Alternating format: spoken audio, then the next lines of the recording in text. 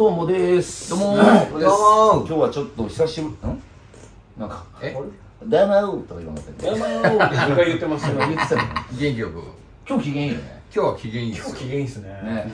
いいことあったのかもしれないです。けどあのー、これごめんなさい。カジュアルタの部屋で、はい。ちょっと久しぶりに一回やったことあるんだけど、うん。ちょっと小部屋の屋根裏部屋っていうやつをね、はい。ラジオなんですけど今日今から収録するんですけど、うん。それを一部始終お届けしようなるほど。はいこの絵も結構レアじゃないですか。確かに。確かに。そうそう。で今日常が久々のはい。参戦やからね。そうですね。はい。そうそう。今週に半分しか来てないんで、はい。うん。ちょっとやっていこうかなと、はいはい。ちなみに前も言ったかもしれませんがうちの撮影の仕方これカメラここ置いて、うん。で一応音声たまにバグるから、うん。あのボイスもこっち同時に回してっていう。はい。じゃあ吉富あのいつもの動機の取り方のやつやってくれる？いつも通りのね。お願いします。いきまーす。ぽいぽい。かわいいお尻ポリポリで動機を通ってる。じゃあ行きまーす。これでね。じゃあ安武さんお願いします。はい行きます。5秒前432佳作の。屋根裏部屋。ここはねいつも常が編集してくれるからね。そうですね。はい。あびっくりした。ーすっごい機嫌がいい。機嫌めちゃくちゃ怖っ。いきますねじゃあ。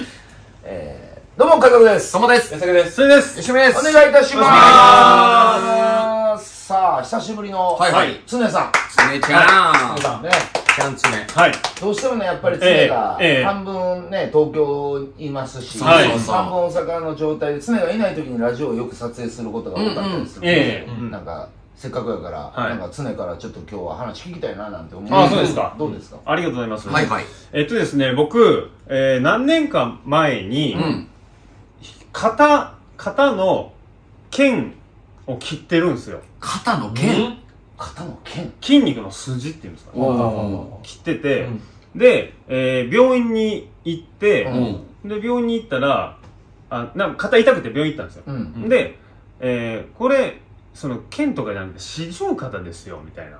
あ切れてなかったってこと？剣が。で、言われて、うん。うん。でも自分の中で、いや、これ、そんな、なんか、痛さじゃないような気すると思って、うん別の病院行ったら、あの、切れてます。わセカンドオピニオンっていうセカや。つやンドオピニオン。セカオピだこれやっぱ大事なんだな。はい。合ってましたっけ？なんか前セカンドオピニオンの使い方間違えてるみたいなすごい言われてましたよあれそうやったっけ？あれそ何でしたっけ？うでもこれの場合は合ってんじゃない合ってんののかな？多分。まあすいません。いろいろあるんじゃないあるのかな。俺らもさぶっちゃけさ、は正解の使い方知らんよ。確かに なんとなく聞いでたことあるぐらいの。はそうそうそうそう分かんなくなっちゃったんだよセカンドオピニオンって多分、ん。俺が思うんやけど、はいは1個病院行くでしょ、い行きますよね。でもう2個目も行くって決めてる状態で、うん。うんみたいな感じ？そそうでのしたっけ？え？そうでしたっけ？え一個行くでしょ？行く。ででちょっと一個じゃあれだからなっつって、うん。もう一個の病院にかかることがもういや違うってこれが違うんだって。みたいなのがなんかあってでもコメント欄であったんだ。っけそうそう正解が何だか忘れちゃいました。わはい。ちょっと分かるあ失礼しました。まあでもまあまあなんせね、うん。うんセカピにあったんですよ。セカピセカセカピニ。があって、うん。で、なんかなんかあれやな。セカピってなんかあれやな。うん。なんかあれやな。なんだうん。セカピ。はいはいはい。セカピ。セカピがうん。ありまして、うん。で、えー、で、そっから、あの結局せ、あのー切れてました。うん。で、で、あの、最近、あのーまた肩が痛いあら。んですよ。うん。なってきたんや。うん。なって、これまたちょっと、剣の調子悪いんかなって思って、はい。あのー昔、その、怪我した時の写真、す調べたら、うん。逆の腕なんですよ。おおうん。うん。なので、うん四十肩です。あ今回は四十今回は四十肩。確定ですかうん確かに。行った方がよくない？はそれで。いや、どうなんでしょう。なんか、もう最近本当あの、僕、普段寝るときに、うん。両腕上げて寝るのが癖なんですけど、あうーその時に、あだだだだってなるんですよ。かなり痛いねや。ええ結構、なんか痛くて。うん。夜な夜な聞こえてきますもん。あだだだだって。あで実際あ一緒住んでるから。ああそういうこと？隣から。はいはいはそこまでしてあげたいい。寝るとき確かに。寝る時痛いの確定してんのそうそうそう。あでもあれだ癖やから。はいはいはい。途中で痛いのに気づくんだああそういうことか。っていうことじゃないの？そうです、そうです。なるほどね。で、でも、まあ、それでちょっと自分的にはショックを受けてるんです、今。まあ、うん常一番年取ってるのが嫌やもんな。めっちゃ嫌なんです。うん。で、もう、でも、それをやっぱり直したい、自分で直したいから、もう無理やり痛いのを我慢してうん。寝てるっていう最近の。あかんのちゃんうん悪化すんじゃない？え無理してるんじゃない？そうそうそうだって痛いところに手を持ってっちゃってるってことだもんね。そうやった方が治るんじゃないですか？やばいやん考え方考え方昭和すぎひん？その伸ばしたいみたいなことそうそうそうです。あ伸ばして接骨院とか行った方がよくない、うんうんうんうん。あ、接骨院に行った方がいいのか。え、一回目のその剣が切れてるっていうのは、なんかは、なんとなくのきっかけみたいな？あ、それはあったんです。あったんだ。バク転の練習をしてる時にうん途中で落ちたっていう。あーはいそれで病院って一発目四十肩って言われたら言われたちょっとあれやなあー確かに確かに。ううんで、まあまあ最近本当にそういう四十肩。行った方がいいよ、うん。変に伸ばしたりしてな、はい。うん。そうよ。あれやから。あと受け止めた方がいいよ。自分が四十ということに、うん。お湯を。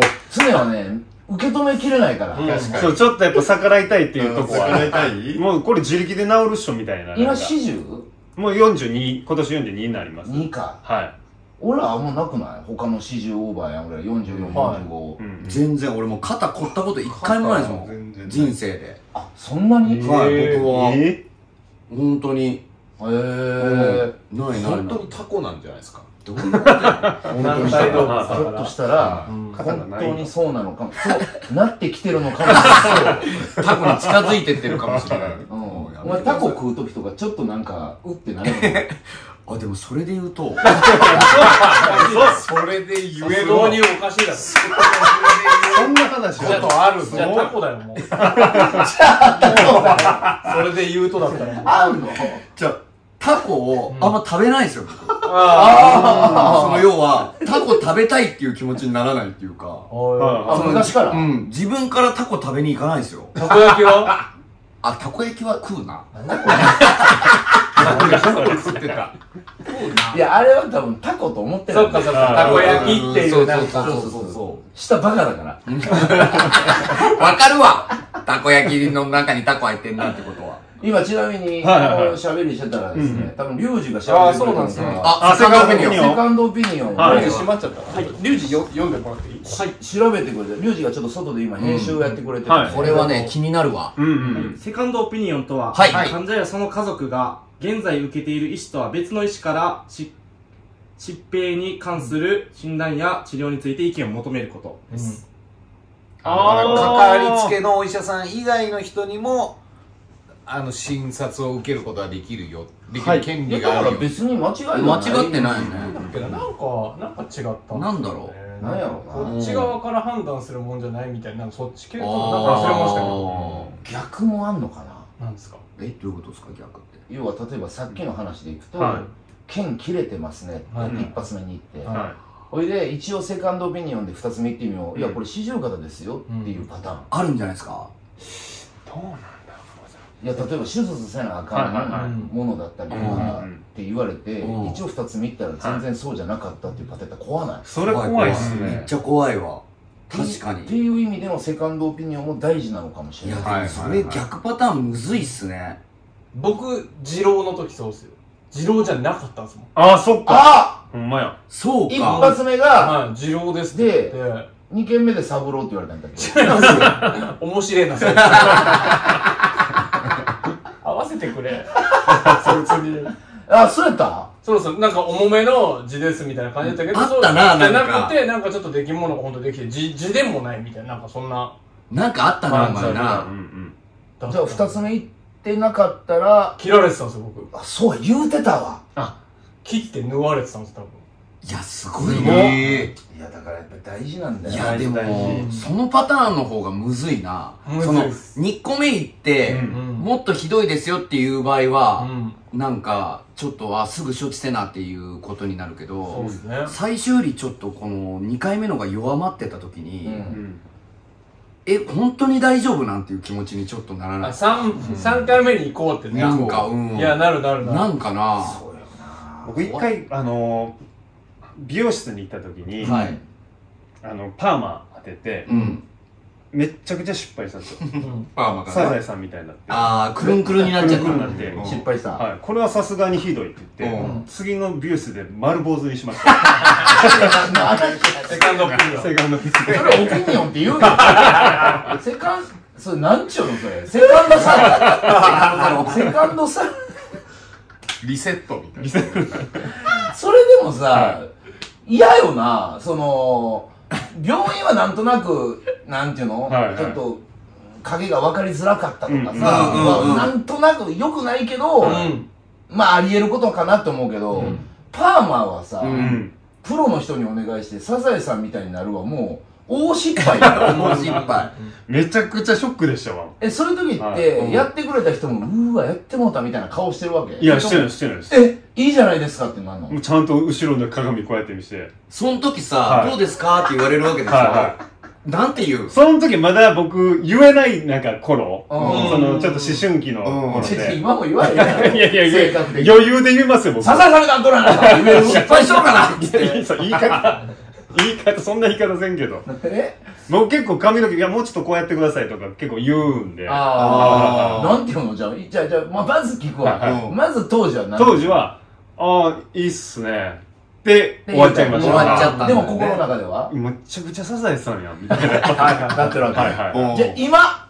今はい。もしサザエさんみたいになったらはいはいはい。なんて言うの、いやじゃんけんぽい。サザエさんみたいになっとるかな一回じゃん 寄せとるやないかほんまにじゃんけんぽいじゃない。じゃんけん。あでも自分の中でおそらく、ん。あれですよ。やっぱ言うてもプロやから、はぶっちゃけサザエさんみたいにはなってなかったんでしょ だから常がうん。やっぱりパーマ初めてのパーマ当てに行くわけやから、はいはい。いろいろこうイメージをしていくわけよ、うん。でいろいろ見てきたやろうし、はい。かっこいいパーマを、でうん。そのイメージで言ってる、はい。全然イメージと違ったんだよね、そうなんですよね、でも腹立ちもあるから、うん。でもこれ見ようによっちゃサザエさんやないて なってたんじゃないの？いやいやもうかもん言うん、こんなもん。完全にあの両サイドと真ん中に拳3つみたいな感 それもうサザエさんやサザエさん。それサザエさんにしに行ってるもんもうそれ。じ なってたんです本当に。トントンってなったら、はうんあ、そう。はい。そでも大事やね。うん。セカンドオピニオン。はい。行ってる？最近病院。うってなもう何にも言ってない病院。でもそれってすごい素晴らしいことじゃない？体調崩してないってことじゃないの？まあそうですねまあ病院かなとはなってないんで、うんまあそうかもしれないですねそれで安田なんかしょっちゅう行くもんな。しょっちゅう行ってますなんかちょっと自分の体調があれおかしいなと思ったらもう。偉い。な偉いなもうかかりつけがあんねんな。ひいやもうかかりつけというかもう調べて近いとこすぐ行きますあ、どこ、どこでもええんやったっけ？どこでもいいですようんなんか一回言ったら昔俺も聞いたあよ。一個あります一個あるよな。はいうんなんか、ひそひそ話で昔教えてくれたなんか、うん深井さんもしなんか体調悪かったら言ってくださいね。僕めっちゃいいとこ知ってます。あら。えー一個ね渋谷にあるんですよ。そうそうそう。あるんだ。名医がいるんですよ8年ぐらい前に聞いたの。これ。そうそうそうそう。内科？えー、内科耳鼻科かな？うん。ええちょっと風邪系の調子が悪かった時に行ったら、ちょっと不愛想なおじいちゃん先生みたいな人がいるんすけうどん、怖いんですよ。うん。その熱測ったら何時って言われて、7時、8時ぐらい、どっち？とか言われるんですよ。あーちょっと怖いな。怖いんすけど、別にそのままバーンって見て、あ、これなんとかだね、じゃあこれやってって言って、その薬飲んだらもう一瞬で治る。一日で治る。ええそうなっちゃうと、本来タメ口とか嫌じゃない、うん。お医者さんの、うん。本来、うん。でもそれすやられてさターンって直されたらタメ口も気持ちよくなっていやめっちゃいい。はいむしろいい。むしろタメ口やからそうそうそう。そうみたいなとこむしろいいあるよな。病病院全体がすごくてそのおじいちゃんが一人で見てるんですけど、うん。でじゃあ吸入とかやって喉とか鼻だから帰ってねって言って、それやって出てった瞬間にもうお会計と処方箋がすぐ出てきて、え怖いで下に処方箋薬局ありますようんうんうん。って言ったらもう薬スンって出てくるんですよ。すもう段取りもいいんだ。そうむっちゃ段取りもいいし完璧なんですよそこ。ええ渋谷にあんねん渋谷にあります。俺ちょっとまた体調悪なったあなんか行ってみたすごいんで。でもなんかちょっとない。俺安武が絶対正解やと思うねんけど、はい。この昭和生まれの俺らってさ、うん。多少の体調の崩れてさ気合で治すみたいなのない。全然。いやありますね。余裕であります風邪は病気じゃねえと思ってますせやろ、ん。これって実はチームでやってる限りダメなことだよね、まあ確かにね。一人で迷惑かかりますからそうね。そうそうちなみに俺今日ちょっと調子悪いもん。調子悪いんか。言ってくださいその渋谷のとこに。ごめん。うん喉痛いねん喉痛いんか。よお前痛いこれで結構ずっと痛いなお前 実はね。うん。実は長引いとるな。実はごめん。3日ぐらい痛い。ねん長引いとるやん。大丈夫か調子悪いな。うんまあ大丈夫ですけどね。でも俺もそうやねん。ほんまにうん。サボってまうよな、もうこれぐらいやったらいけんちゃうか、あと家にある漢方とかを飲むと、ん。ちょっとマシになってこれ立ち悪いな。俺ももうそっちです。なんかそういうのをなんか飲んでもうよしある漢方家に。漢方っていうかあのー前皆さんにうん。あのー渡した韓国のホンサムっていうやつうん。があーめっちゃ効くやつ。そうそうそう。あんなんとかをもうグッて入れてもうこれでもう治ったっていうことにしてます。ああ体調ダメだね。ううん。ん行こうみんなで。は安武の。渋谷のね。ね違う違う違う別に全部治せるわけじゃないから。病気によりますよそれは。まあなそういう人とかも行かへんやろ病院あんまり。病院は行ってないっすね。うん。ただ歯医者さん行って、うん。なんかあのーすごい初めての経験はしましたけど。最近？ではい最近なんですけどもう事務所からすぐ近くに歯医者さんあったんで、うん。もうこう近いところでいいやと思って、行ってみたらもうなんかかつてないほど雑な歯医者さん。えー、えーそっち？どういうこと？はい、いやだから歯医者さんってそんなイメージなかったんですよ。やっぱ競争率も高いし、うん。そうだね。結構ちゃんとやってくれるイメージあったんですけど、うんなんかあのベッドみたいなところに寝るじゃないですか、うん。寝てでライトみたいなのを口にこう当てるじゃないですか、うん。はいはいはい。そのライトのこの周りの皿というか、うん。はいはいはい。そこの内側にうん粘土みたいのめっちゃついてて。え？えー。うん。でなんかそれ触った手でく口の中。めっちゃ嫌やな。えーそれ。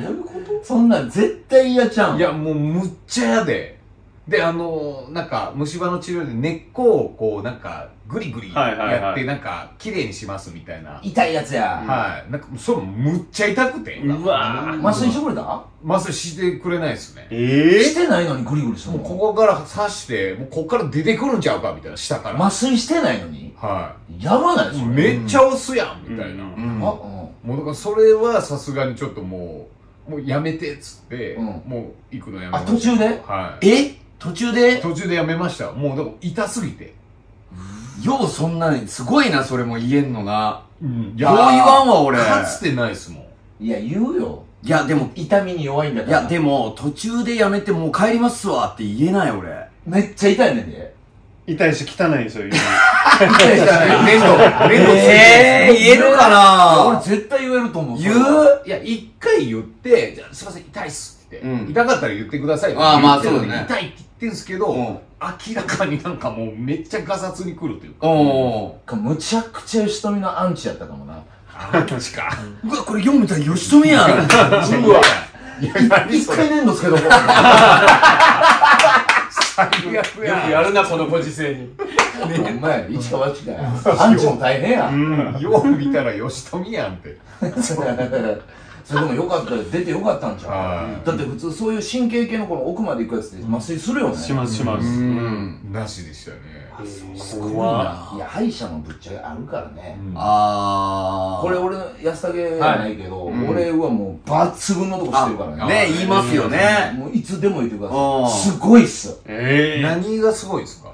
えっとね俺が一番感動したのは、うん。麻酔かなあいや俺あも結構あのいろんな歯医者さん通ってきたんやけど、はい。やっぱりお医者さんによって麻酔の仕方って違う。はいはい。うんうんであのあんまりなところの俺のイメージね、勝手な個人的なあれやけどあんまりなところは部分麻酔なしで麻酔するとこなんですよ。意味わかります、わかります。部分麻酔なしで麻酔する。要は、うんあのいきなりチクッとしますねって言って歯茎にブスーって刺してうん。麻酔、うんうんうん。でもこういうとこも多いと思うねんだけどはいはいはい。こうやってやっぱ痛いやん。痛い痛い痛い痛い。一発目の初手はいが、はい。じゃなくて部分麻酔って言ってまずあのなんかねあのなんていうの？シールみたいな。薄い、あうん。うん。麻酔シールみたいなやつはいはいはを歯茎に貼ってくれるんですよ、うん。でそれでちょっと30秒ぐらいなるほど。麻酔のそこにそう。いうことや。麻酔ので麻酔だ。部分麻酔したところに注射器でズン、そうか。だから注射が全く痛くない。そう、うん。ねんけどそれでもやっぱり歯医者さんによっては初手そんなやけどもう一個奥来られた時にビキって痛かったりする、うん。はい。だから部分麻酔がちょっと甘い。うん。その点うちの歯医者さんもパーフェクトですね。ああそうなんだ。もうなんかねテクニックがすごいの。はいその部分麻酔ももちろんやけどこの針を刺す瞬間にちょっとショック与えますねって言ってショック。一瞬唇をギュッてするのよ。ああ逃がすんだそう。痛みを。その一瞬唇ギュッとがうん。ちょうどええ痛くなさよね、へへその唇が痛いとはならない、はい。なんかあギュッてあショックなんかかかってるみたいな感覚の時にやっぱ人間って脳でさ感じるわけよ、はいはいはい。そっち行くねんショックが、うん。あ口グーッとなったと思ったら、はいもう麻酔終わってますよみたいな、いや安心できますね。安心できる。あそれ言ったら俺逆やないけどあの子供の歯医者さんにね、はいはい。やっぱ行くわけですよ、はいはいはい。基本的には嫁さんが行くねんけどたまに俺も行くわけ、うんで俺歯医者にうるさいのよ、うん。なんか麻酔にうるさくて、うん。でも子供たちってやっぱもう嫌がるやん、うん。で虫歯になっちゃったりしてやっぱり治療する時に麻酔があるやんか、うん。子供たちにこそ麻酔って俺は大事だと思ってて、うん。そこ失敗されると一気に歯医者が嫌いになるトラウマになりますもんね。そうそうそう。でなんか一回せんちゃんかな、が通ってる歯医者さんって言うんけど最近せんちゃんが行きたがれへんっていう情報を聞きつけたから、はいはい。ちょっと俺行かしてくれって言って、うん。一緒に行って、うんであれ親横で見れるから、はいはいはい。見させてもらいます言って。言うてないけど、うん。見てたらめっちゃ下手やってん。ああそうなんだ。部分麻酔はすんねん、うん。はで俺めっちゃ見ててんこれ、うん。部分麻酔ファーってしてくれて、うん。あちゃんと部分麻酔するんや。と思って、でせんちゃんもちょっと頑張ってこうやって口開けてやって、うん。で部分麻酔終わって、うん。そしたらその人が行ってんけど、ん。一瞬チクッとしたからせんちゃんが、そしたらせんちゃんがちょっとビクってなって、うん。あーってなったから、俺手握ってあげて大丈夫大丈夫大丈夫だよっつって、で動いてせんちゃんがバッて、うん。その後お医者さんが、はい。部分麻酔してないところにブスンと刺して。えええそうやね でせんちゃんわー言って。最悪やん。最悪やこれ。うん帰りますって言っても。うああもう帰った。あの嘘です。嘘かい！今ええ格好しました。ほんまはあの今俺でも言うてんほんまに、今ちょっと違うとこ刺しましたよねうん。つって、あごめんなさいって言って、うん。やり直してんけどで最後まで治療が終わった後にもう行きませんっていう。あーそこにはもう行きません。なるほど。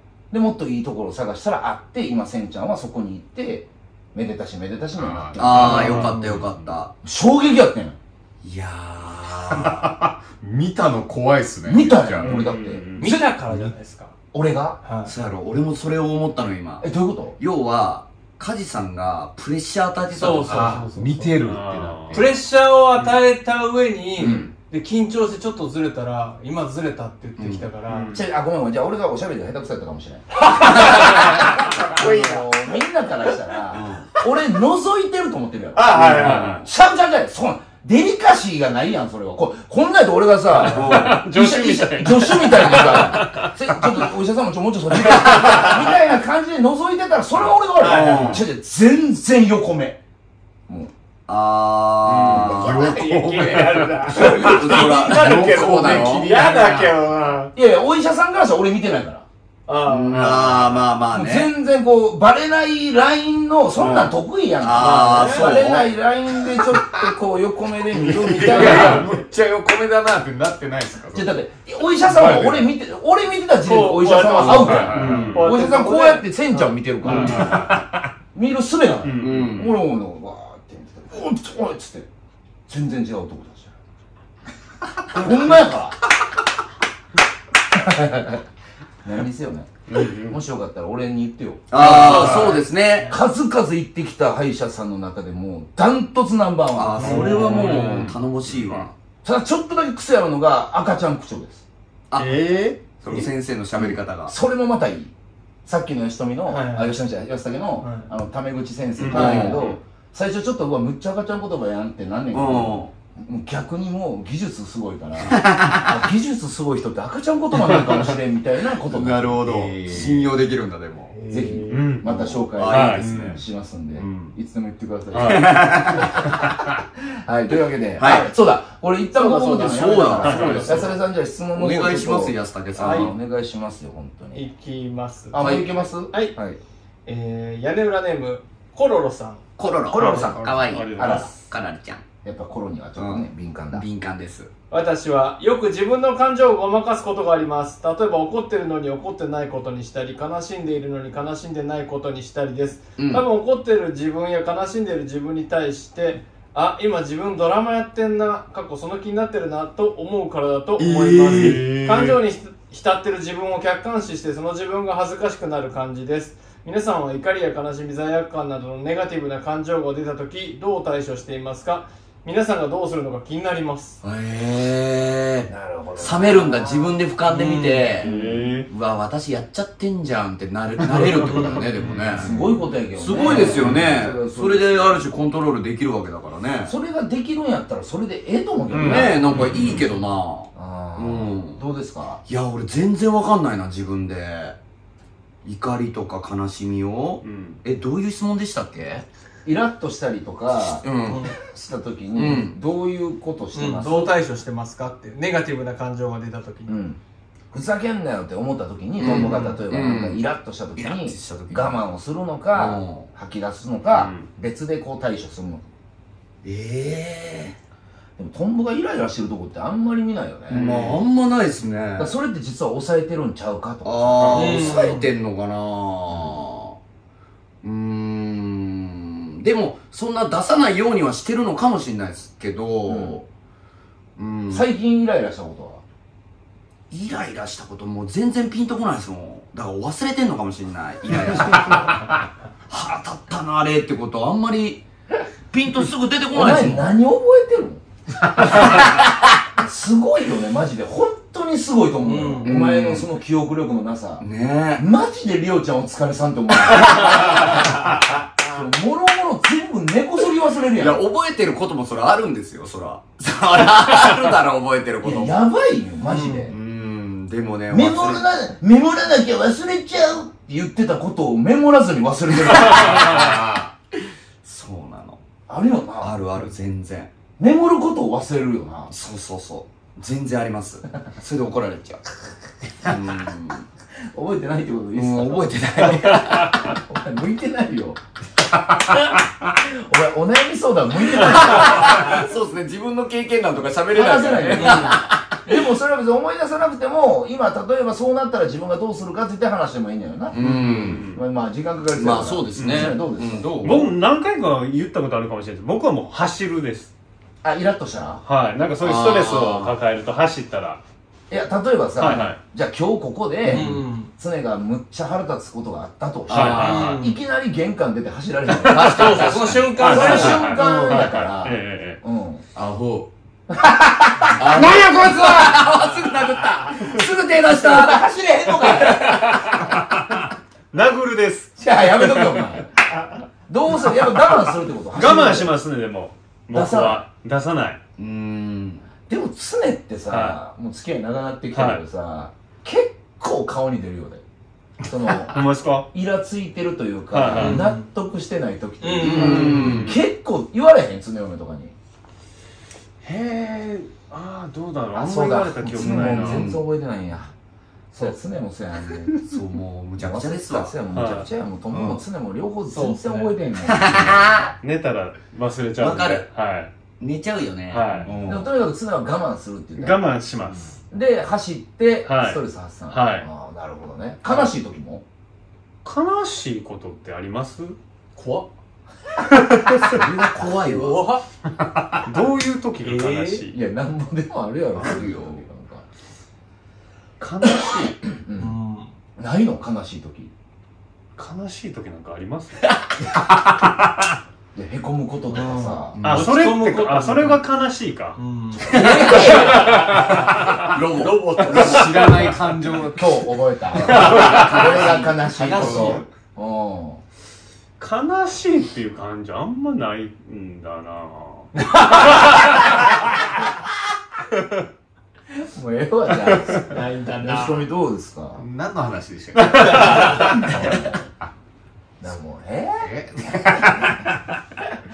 いや、僕、感情は、そうですね。いや、割と出す方かもですね。ちゃ出すようん出すよね。お前はむっちゃ出すよ僕こそ顔に多分出ますし。あ出る出る出る出てます出るし震えるしお前震える？うんこの間当時じゃあせんちゃんにも言われてた動画で 吉富さんほっぺた震えてる 急に。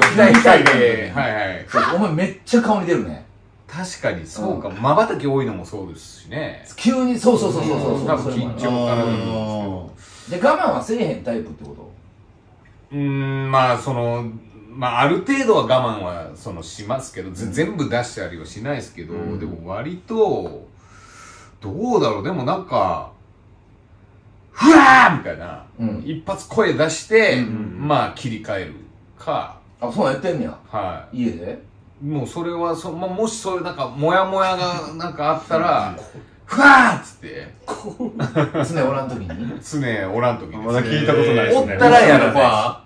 吉富はだから一え回こうバーンって出して、なんか、すっきりするというか、ーうんそういうのはあるかもですね。でも昔とかさ家住んでてたまにさご近所さんからそういう声聞こえてああ、いたいた。おったよね。いたいた、おっさんとかでおっ。たおった。え俺も、あ、あの、俺俺、何回？わかるわかる。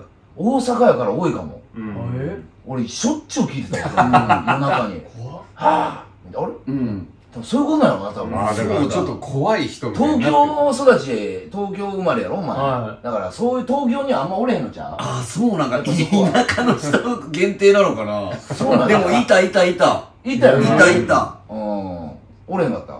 余裕のいです。あまあマンションだからかな。いやいやマンションでもおんねん。よえ。下とか上の人がわー言ったら聞こえんのよ。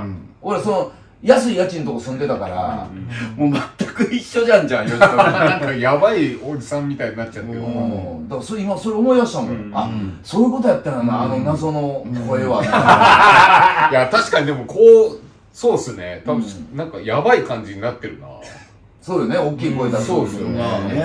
だから枕とかにしとったらええんちゃうの？ああ、だから布団とかそうっすね。うん。布団にわーっつっていうのは、もうありますわ。かそれこそお前一人カラオケとか好きなの？ああ、確かに。そういうところでやったりとか。そうっすね。うん。そっか、自転車乗りながら、わーって言いながら 坂降りたり。だからさ、お前。めちゃくちゃ、お前さ、新世界におったもん大阪 のいや、有名になってますよ、多分。あほんまお前有名になってたんちゃう？近所で。近所で。毎回同じとこで言ってるわけじゃいや、ないですでもまたあの自転車乗ってるやつがわーって言ってた、言って。わーおじさん名前つけられてると思うそうそうそう。わーおじさんうん、わーおじさんだ。わーおじ来た。うんまばたきわーおじさんうわー言うて。いや、もうめっちゃ怖いや俺昔ちっちゃい時にあの岸和田に住んでる時に、はいはいはい団地に住んでてんけど、うんもうめっちゃ怖い人ってん一人えもうその人こそもう黒いゴミ箱ゴミ袋おばちゃんって言われてたんやけど、うもうん絶対に2つ当時さ今と違って分別とかもあんま甘くて、うん真っ黒のゴミ袋使ってたんですよ、そうですね。そうね、は絶対に夕方になったら2つうんうん。パンパンになったゴミ袋を持ってゆっくり歩いてるの、怖い。い。怖くないじゃん。怖いよ。怖いと思ってみたら怖いけど、うん。怖くないじゃん別にそ今のはな、はい。今今のとこ怖ない。やん、はやっぱ俺ちっちゃい時でちょっとやっぱり触れたくなるやん、いはいはいはいはい。ももう悪いけど、うん。ちょっといじるじゃないけど、ううんわ出たとか言うてまうの。あうん。そしたらその人毎回振り返りながら怖っ。怖っ。あーと俺逃げるめっちゃ怖い。めっちゃ怖い。ですっげえ志村さんに顔似てんのよ。志村けんさん？そう。でも確実にお姉さんあええなんかねもうむっちゃ怖かったでもさ、いたいた、でもそういう人いた。だからそれが今吉富ってそういうタイプやっそうだよ。絶対そうだよ。いやいや。俺、小学校の時、ラジオマンって呼ばれてるおじさんがいたんですよ。ラジオマン？ラジオマンはいうんラジオを抱えてるんですけど、むっちゃくちゃでかいボリュームでラジオを鳴らして、ほんで、子供たちに近づいてくるんですよ、こうやって。えーうわむっちゃくちゃ怖かった。何も言わずに何にも言わない。ラジオマンラジオマン。ただただ大きい音のラジオで近づいてくる。子供が逃げんの？はいいじる子おらんかったんいなかった。みんな逃げて。だからラジオマンって呼ばれてて、もう本当にお化けみたいに恐れられてた。で一緒ややっぱ街にいんねやいるん？だよ。それと一緒に全く一一緒なんだ。だから、お前みたいなやつだったんだと思って。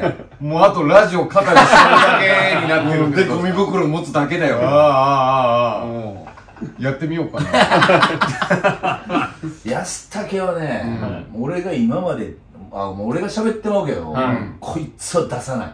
あー、感情そんなことないそうっすね。もともとは多分、うん。僕この方と同じ感じだったと思うんですよ。俯瞰で見てるっていうのは。あー、で、えー、自分こんなんなっちゃってるやんってなるそこまで素直でもなかったっすけど、いや、そんな怒る必要あるっけ？みたいなとか、そんな別に、ようよう考えたらそんな悲しくないなとか、なんか、なんかしらで処理してる。でもその根本は恥ずかしいがあったのかもしれないですけど、そうですね。でも、うん。その、だから、基本的な喜怒哀楽は薄いんです。薄いよ。ねはい。うん。が、仕事とかで例えば怒られたり、うん。注意されたりしても、うん。別にその、合ってるしなと思うし、うんううん。ん。怒ってる方が。うん。うん怒ってる方というか、まあ、カジさんに例えば注意されたとしても、うん。確かになって思ってるから、うん。絶対感情的にならへんよな。顔似てるとかさ。うん。吉富とかやったら震え出せん。わはかい。いや、そこで感情的になるんだったらもうやめちまえ、やめてまえお前って僕に対して思います。ああ自分にってことはいだよもう仕事でその変な感情出すなよ仕事なんだからって思ってる気持ちが強いんで、うん。多分出ないって思うんですね。うん。皆さんの前で。それで言うとお前めっちゃ出るやんやっぱり。あ、俺っすか？うん。たまに俺が言う時あるやん、うん。お前ちょっとあれあれやんお前マジでコロッケみたいになってるで。いや、そう。あ、顔でしょ？うん。当たり前やん。顔以外何やん。いや、それで言うと、うん。まあラジオだからまあ見せたりはできないですけど、リオちゃんに怒られてる時の顔をリオちゃんに写真撮られたんですよ。それもう犬とかがやられてる可愛いからさ怒って拗ねてる犬とか可愛い怒られて拗ねてる犬可愛いじゃないですかトだと思われてるめっちゃおもろいやん超おもろい。その時の顔がすごかめったっちゃすごい顔してました、俺。だからそんな顔してるんですよね。だから全然へこんでるのを出すタイプああ、出すタイプか。だって俯瞰で見れてないでしょ自分がそんな顔してうん見れてない見れてない。自分がどういう顔になってるのかあと分かってない。引きずるあ安武は引きずらへんねん。引きずるかも。もうトンボとかも全然引きずるタイプやもんそうかも、そうかも。で常はなんか引きずらんタイプな感じ、あ引きずんないです、うん。せやんな、はうん面白い人によって違うまあ、そうっすね。うん。昔一回だけ安武に何やねん思ったことあるけどな。あれですか？もうこいつ何やねん。いやそういうやつやと思ってんのに。はいはいは昔二人でカジノ行って、はい。韓国の、で全部、まあ、やらしい話旅費も俺が出して、はいはいは全部出してんねん、うん。やらしい話だけど、で連れてってで兄さんみたいな、うん。あざっすみたいな感じで、ほんでカジノ行って24時間ぐらい二人でやって、はいはいはで俺がねなんかねチャラぐらいやってんけど安家めっちゃ負けてい。めっちゃ負けたんだ。もう何十万か負けて、うん。で帰りタクシーで帰ろうか言ってタクシーのもちろん俺タクシーで、はいはい。はい帰ろう帰ろう言ったらもう車内で安武むっちゃ機嫌悪いね で俺がなんか気使って「いや楽しかったな」とか言って「はい」めっちゃキレてる。やん。むっちゃキレてる。やん。びっくりしてもうでも俺も負けじと「いやいやでもお前な」っつって「楽しかったやんが負けたかもしれんけどやな、うん。楽しかったやなこな」うん。なんですね。はい。えお前態度悪ない？忘れもしないですわ。あったよな。あった。あれはタイプそこで初めてはっってなってあすいません。っつってガバガバに出てもうてあたのねそうその負けた感情もあるしちょっと話してもいいですか全然よ。韓国二人でいて、まあ、全然韓国のこと知らなくて。ゼロで行ったそう空港に、うん。そのいわゆるぼったくりタクシーみたいな人がいるんですよ。おー。らしいな、はい。10年ぐらい前の話やな。はい。でそれに捕まってしまってでも知らなかったんですよ、うん。でその人が行きに送ってってくれて、うん。でも梶さん的には梶さんこれあんま良くなかったかもみたいな言ったけどいやでもなんかその親切な人だったから悪い人じゃないんじゃないみたいな。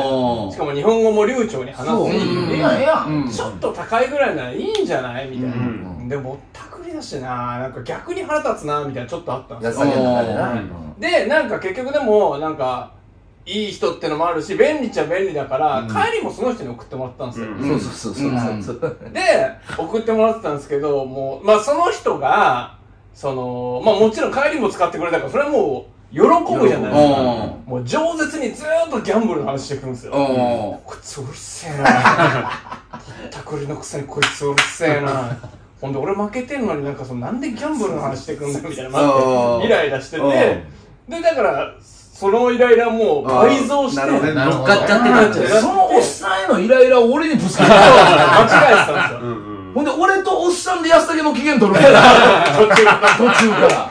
おっさんもねえでも次勝てるよとか言って そう。懐かしいうなるせえなと思って言われた間違えたと思って。すいません。すぐ戻ったけどね ありました。それはあの時は本当失礼しましたよ。俺は結構出すわすぐ。うん。もう出すようにしてる。うん。あ出すようにしてるんですか？出すようにしてる。うん。でへこんだこととかはもう絶対に引きずらないようにうんしてるから意識してるってこと？そそれはもう全然意識してる。うん。すごいっすけどね、うん。この多分あのコロロさんもそうですけど僕もそうなんですけど、その、うん出せるのも俺すごいなって、怒りを。うん怒りだったり悲しみだったりとか。ああでも俺の場合は結構まあ笑える部分笑えない部分でも笑えるようにして毎週キングオブで喋ったりとか。あーネタとしてね。ネタとしてあるっていううん。とこだって俺例えば前回の毎週キングオブで俺木島君にキレてんのよ、ん。本気でキレてたから俺、それをでもあっこでこうガンって喋ることによって、しうん。もう消化さすっていうね。とか、でもプライベートでも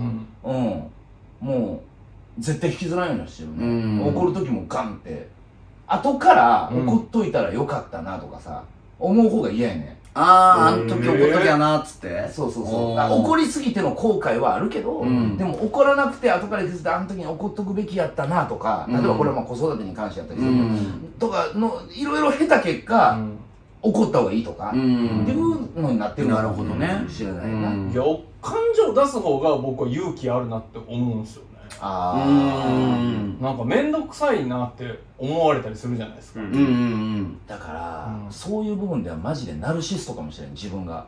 怒怒ってる時って怒る人ってひょっとしたらナルシストなのかもしれないね意味わかる？そのえまあちょっとわかんないです。態度悪いな気をつけろよ。要は自信がある人だと思うんですよ。怒怒れる人あうん。俺なんかって思う人って怒らない。ああまあ確かにそうか。言われてみるとね。そうそうそうそう。そういう意味で、まあ、ナルシストっていう言葉が合ってるかわかんないけど、自信がある人じゃないと怒らないんじゃないかなーって思う。うん。いやなんか嬉しいとかもそうなんですよ。うんとね、ん。吉富うん。とんぼさ、うん。んカジサック、うん。なんかむっちゃ喋ってくるじゃないですか嬉しいことあった時 いやええことやないか。おえなんかそれがええことえ別に嫌って思ってないですようけどむっちゃなんか、ちょ聞いてくださいよとかうん。なんかむっちゃ言うじゃないですか。ん言うかもな。言う言ううん言う言う。すごい言うなって思ったんですよ僕。それで言うと、うお前もたまに言う時あるのよ。はいエピソードとして、はいはい本当に言わないの常よ。ああまあね。まあね。そうですね。確かにな。常はほんまに言言わわない。ない。うん。いまだに俺ちょっと怖いもん。うんなんかうん。闇の組織の。ほんと言わないよ。言わない。こないだねみたいな。ああ確かにね。確かに。なんでなん、うん。なんか、安田があるやん。ありますありまりにおもろかった話とか。はいはいうんありますありちょます。こないだとか。はい。常俺一回もないね今まで。このもう3年間確かに。ないかも。誰にやったらしてんの？それ。それとも誰にもしてないの？基本しないと思います。誰にも？はい。なんか箱かなんかあんの？そういう。その喜びとか 悲しみとな、か。なんなん？マジで。聞きいや。なんか、なんか自分の話をするのが無駄な時間みたいなちょっと思っちゃうんですよ。無駄な時間。ああ人に対してはい。自分の話で時間使ってしまうなんてってこと？ししまう、そこまでは深くは考えてないですけど、ぶ俺のこと別にどうでもええやろみたいな感覚なんですよ。マイナス思考ってこと？いやいやいや別に、それがマイナスとか別にそんな、あ人から意見をもらっても、はい。別にそれを参考にしなくてもう答えは自分が知ってでるから。もそれは相談事やんか。うん。じゃなくてさ、俺らの仕事なんかさ、おもろいことがあったら人に話したなるやん。はいはい。ちょっとこの間マジびっくりしたんやけどとか言って、そうですね。それがしないやん。はい。らその時間がもったいないみたいななんかもったいないみたいなど気持ち。こがハッピーマンや ハッピーくれよ時間の無駄だ時間の無駄だよ、そんなの。ハッピーマン。もう僕の話なんて。話はしょうがないんだから、時間の無駄だよ。うん、ハッピーマンですよ。ないよ。なんか後から我に返るかもしれないですなんかもし話したら、うんあの話した時間別になんかいらんかったなみたいな 気持ちになる初めて言うけど、はもうええ機会やわ。はい欲しいで、俺ら。あほんまですか、うんめっちゃ無駄じゃないですか悲しいよ。いや無駄なこと ほんまですか？俺悲しい。悲しい？常とはいオフで会話するとき、もう、仕事の話だけやねん。なんかビジネスパートナーみたいな。常が俺に話しかけるときって、はい絶対仕事のことやねん。あカイさんの編集のことなん や。カイさんすいません、今度仕事してたんですけど、あうんばっかりやから、寂しいわ。ああそういう感じになるんか。でも全員にってことやろ、それ。はいあんまり話さないです。家でもだからあんま話してないかもしれないです、え、常嫁とかに？はい。こんなことあってさみたいな。うー。んでも僕も結構そっち寄りなんですけど、うん。で多分あんまり他の人にも興味がないから、うん。自分のことも興味ないんだろうなもあるんですよね、はいはいはいはい。うん。まあ、それが悪いわけじゃない。んだよな。はい、けどやっぱり常たまに話しかけてくれるんですよ。うん。うんあんの？はい、うん。だから多分よくペットとかでもあるじゃないですか、うん。ワンちゃんとかでも可愛い可愛いって行き過ぎると、うん。ワンちゃんがもうもういい行くみたいななるじゃないですか、うん。だから僕行かないんですよ常に。ああ。うん。でなんか早く来てポテンってソファーとかにいると「安坂さんあれですよね」みたいな話しかけてくれる時とかあるんですよ。そういう時とかは嬉しいけどね俺。あほんまですか、うん。常が話しかけてくれるから。俺ら、なくなあーなないかな。い俺らだからすぐ舌出してまうから。遊ばそうってそうか。だか。ら自分から言っちゃうからかな。言っちゃう。そうそう自分がもう先に、うん。いやマジで。そう自分が言っちゃうかも。すごい。だからちょっと温度差がすごいっすわ。そのああ。喋りたい喋ろうよの結構強めの子たちが、うんうん梶さんとんぼさん吉富で、うん。常はその真逆で僕は常寄りの方ではなんで同じクラスやったら多分グループ違うかったよな。違うと思う。違うん。か多な分俺と吉井グループとうん安武常みたいなグループに分かれてたと思う。なってたのかな。うるせえなって多分俺思ってると思う。んでだからそあっちのグループに常がいるってことやんな。そうっすねどこがハッピーなんや？うるせえなと思ってどの部分がハッピー そんなやつ。せよお前お前から話しかけろ。玄関開けの時からハッピーなんだやってくれハッピーを振りまいといてくれよ。楽しませてくれ楽しませてくれようるせえな。じゃねえよ。時間の無駄だいやでも常はこれだって面白い面白いな。常ほんま変わってるからな。面白い。